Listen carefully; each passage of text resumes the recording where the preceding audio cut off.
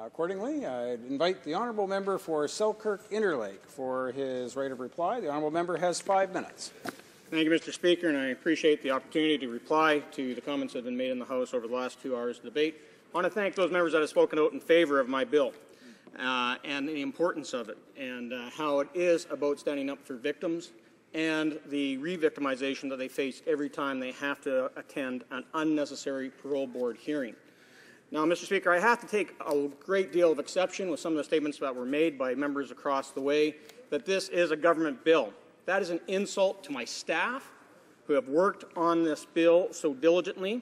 It's an insult to the Library of Parliament researchers and drafters who helped write my bill uh, to help in the drafting process. And I can tell you, Mr. Speaker, that those types of comments are not at all helpful to the overall decor of this place when it's trying to minimize us as private members in bringing forward business. As I said in my opening comments, Mr. Speaker, my catalyst for, for going forward with this bill goes back to 2009 when I first started thinking about what was happening with the Tori Stafford case, with the, the capture of Michael Rafferty and Terri-Lynne McClintic, and the overall uh, result of having them uh, uh, sentenced to life imprisonment. And while that was taking place, we were listening to the Clifford Olson saga as he was dying in prison from cancer, and all the stories about how he re victimized uh, the families of his victims over and over again by going and making them appear at these unnecessary parole board hearings. You know, Mr. Speaker, it's important that we respect one another in this place, and by making those types of comments that minimizes our role in this, this chamber as being puppets for the government, I think is deeply disturbing, and at some point in time, uh, I would be, maybe be requesting an apology from the members who made those statements. You know, Mr. Speaker, some of the comments revolved around the constitutionality of Bill 478, and I can tell you that, that that is a concern that I had and wanted to make sure that this bill, if we're going to draft a bill, it wasn't going to be struck down by the courts under a charter challenge. And so it was uh, giving full power and discretion to the judges, to the judiciary, to make the decision on whether or not they want to increase parole ineligibility from 25 years up to a maximum of 40 years. They have the uh, power, uh, either through a jury process or on their own, to make a decision whether or not uh, parole ineligibility can be anywhere between 25 and 40 years.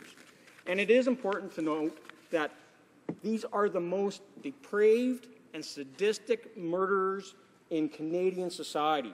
These are the people that go to jail and are never again released.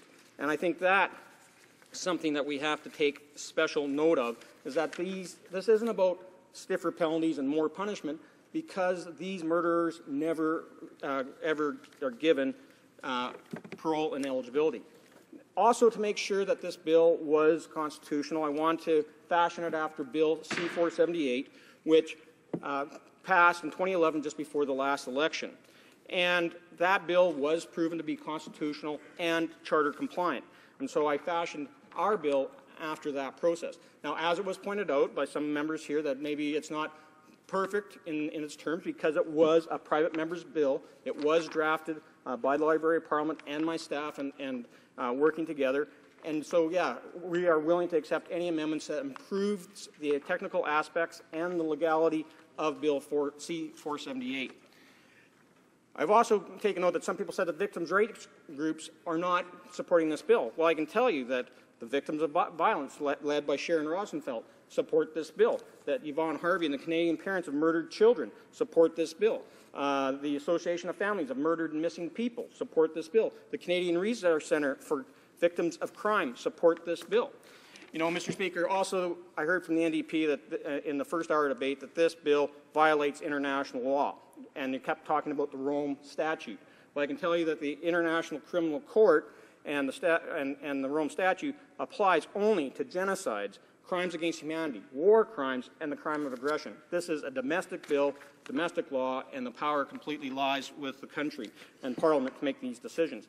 And to point out the hypocrisy of the NDP, they supported Bill C-478 in the last Parliament.